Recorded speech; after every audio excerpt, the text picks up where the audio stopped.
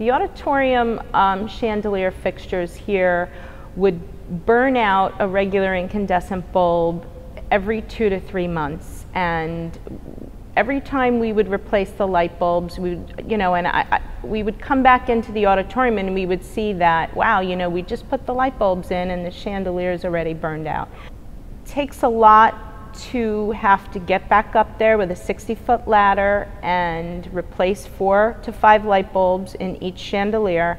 You need at least three staff members, at least two hours of time. The auditorium here with three schools in the building gets quite a bit of usage. I would say six to seven hours a day. Uh, all schools schedule to use this room.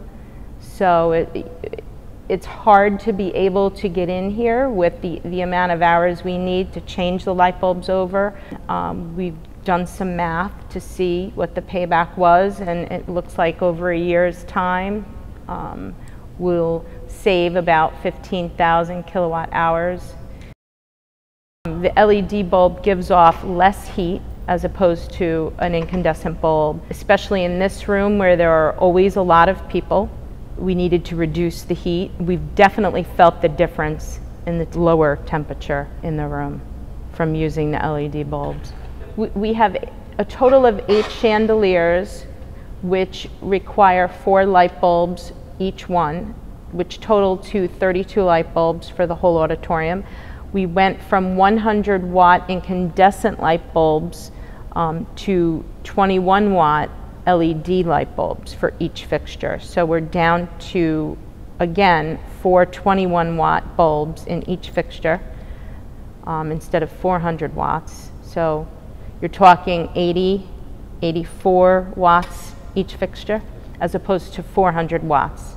The, the $1,000 that I earned through the demand response program, I invested back into the purchase of LED light bulbs for the auditorium, which in the long run saved in energy cost savings of about 6,000 kilowatt hours for the year and was a huge payback on my labor costs. And not having to use precious man hours has been a huge savings for us moving forward uh, with the changing of the light bulbs less frequently.